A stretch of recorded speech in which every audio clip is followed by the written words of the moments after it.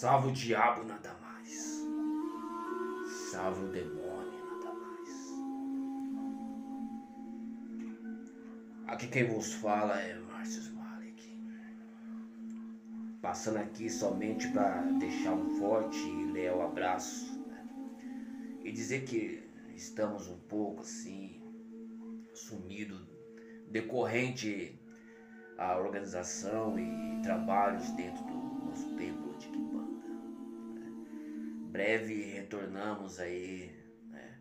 sempre com o propósito de, de agregar, de trazer um, uma certa clareza, né? fugindo dessas questões aí de, sabe, de hype, não sei o que, não. Estamos aqui somente para poder trazer uma clareza sempre né, com o intuito né, de agregar conhecimento, pois conhecimento é a chave.